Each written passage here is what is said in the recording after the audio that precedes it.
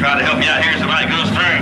On track right now, our first heat race should be the number 19 of Thomas Sewell, the number 38 of Shane Lovely, the number 34,